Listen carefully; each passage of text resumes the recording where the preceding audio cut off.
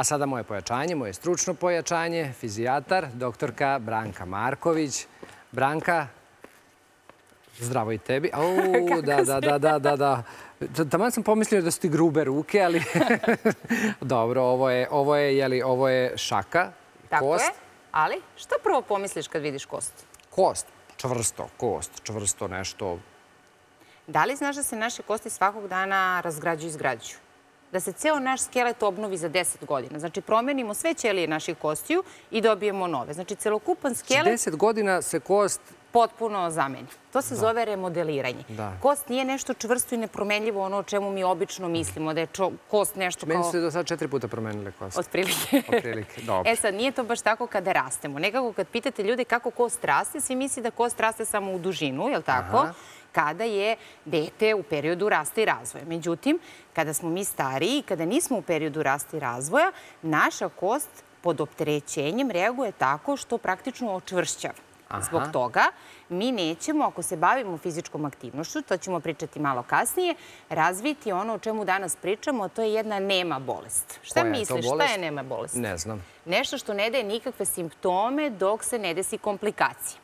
Prelom je najčešća komplikacija koje bolesti? Osteoporoze, Tako kad su ti krte kosti. Tako je. Znači, o osteoporozi pričamo Osteoporoza je naša tema danas. A, Malo sam ti... I to je tema koja zanima veliki broj, uglavnom dama. I ajde, kad kažem uglavnom dama, zbog čega se osteoporoza javlja mnogo, mnogo, mnogo više kod žena?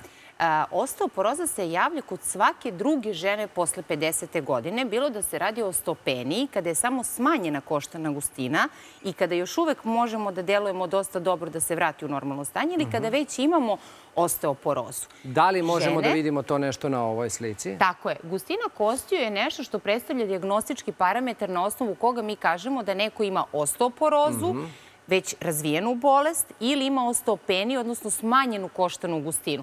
Na ovim Samo sekund. Ajde, mogu ja da pogodim sad št- koja je kost već podlegla o- osteoporozi, a koja nije. Ja, ja bih rekao da je ovo zdrava kost. Tako je.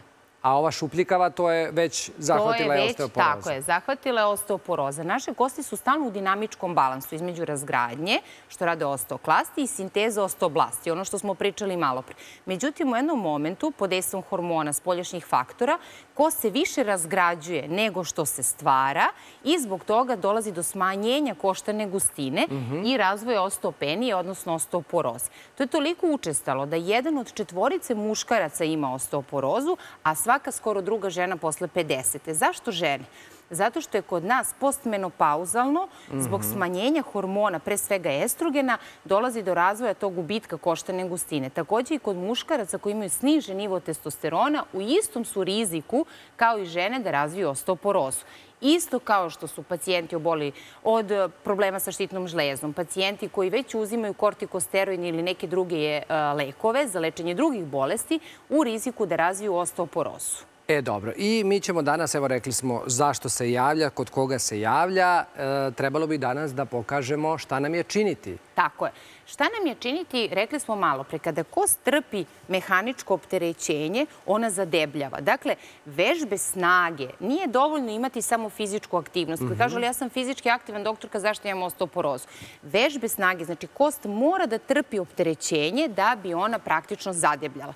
To se dešava još u dečijem uzrastu. Mi još kao deca stvaramo neki koštani depo koji ćemo kasnije da koristimo u životu, što bi ja rekla, na, kao na kredit. Na kredit. Međutim, još jedna stvar je važna. Pored vežbi, suplementacija D vitaminom i suplementacija kalcijumom, pogotovo kod žena u postmenopauzi. I to dvoje 1200 uvek ide zajedno. Tako je, miligrama kod žena, odnosno 600 do 800 internacionalnih jedinica D vitamina je preporuka Svetske zdravstvene organizacije. Kada uzimati D vitamin, pošto stalno je to u svim mesecima koji se završavaju na R, a to su, Znači, nema jun, juli, avgust. tako je, septembar, oktobar, novembar, decembar, Znači, januar, devet februar. meseci uzimate Tako je, zato vitamin, što D smo vitamin, mi osim... podneblje sa malo sunčevih Da, zraka. ja. Naravno, K vitamin je taj koji će da, Da, nema usmeri ni april, to. ni maj, znači pet. Tako, je. Da, Svi meseci na R, isto de, kod, kod dece se daje riblje ulje, to smo svi pili kad smo bili Jesmo. mali i ne treba od toga, jel tako, odustajati zato što je to meseci na R. Tako je. I mi danas imamo još jednog gosta koji će nam pomoći da pokažemo našim gledalcima koje su to vežbe koje bi trebalo da rade ukoliko imaju problem sa osteoporozom, a mogu da rade i preventivno, iako još nemaju. Da. Naravno.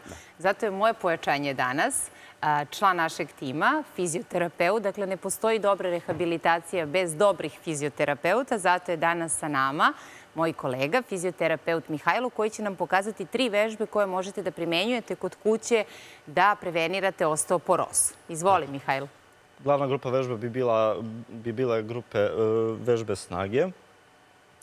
Za najveći deo populacije najlakša vežba bi bila iz sedećeg položaja, gdje ćemo samo bez zamajca pokušavati polako da ustajemo i tačno ćemo kroz izvođenje vežbe osjećati jaku aktivaciju butnih mišića i glutealnih mišića.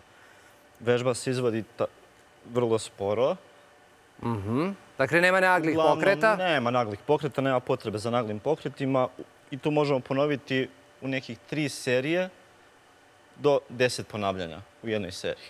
Dobro. Da li Tako. kao kasnije može da se nadogradi kao vežba snage, tako što će koristiti neke tegove? I neko opterećenje, naravno, za tako nešto možemo koristiti i dodatno opterećenje. Dakle, ista vežba se izvodi samo sa dodatnim opterećenjem koje možemo da držimo u rukama.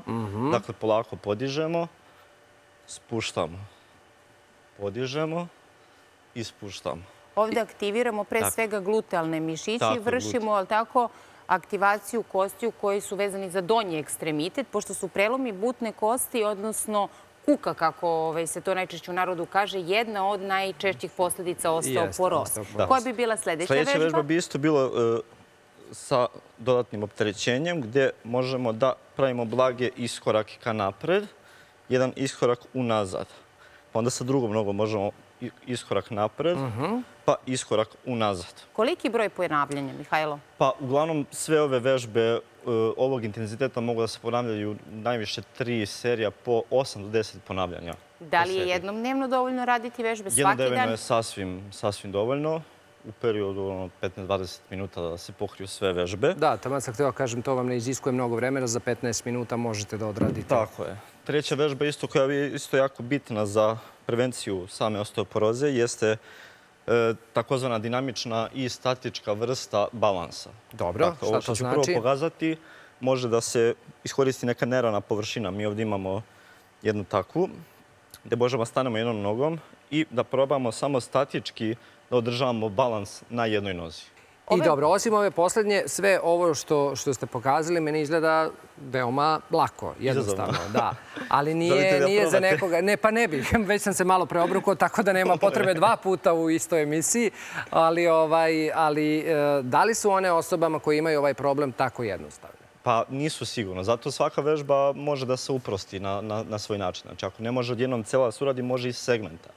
Recimo, na prva vežba koju smo radili ustajanje, znači, to može da bude samo neko, neki pokušaj ustajanja za početak, dok osoba stvori samopouzdanje da krene tako nešto radi ukoliko ima baš problem da izvede istu. Znači, segmentalno može da se, da se izvodi. Da.